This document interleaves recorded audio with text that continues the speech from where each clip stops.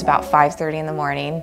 I get up, I suit up, um, I have my rolly bag ready to go with my laptop, and then I hit the road. And I'm driving for about anywhere from an hour and a half to two hours.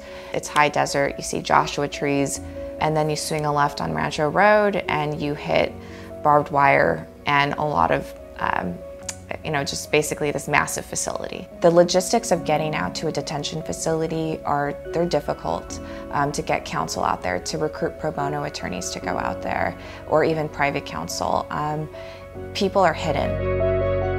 Currently, I'm representing a client. He's a Cambodian man and father of three children. He was in um, immigration detention for almost a year after already being ordered removed from an immigration judge, meaning ICE was holding him indefinitely in detention while waiting for Cambodia to issue his travel documents. What was difficult about it is that Cambodia's repatriation agreement with the United States is sort of in flux right now.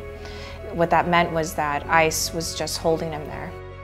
I met him in detention and tried to advocate with ICE to release him, tried to talk to his deportation officer, contacted headquarters in DC, and nothing was working. And so we collaborated with the Federal Public Defender's Office um, and so they were able to enter an appearance and within a month of filing that petition, he was released.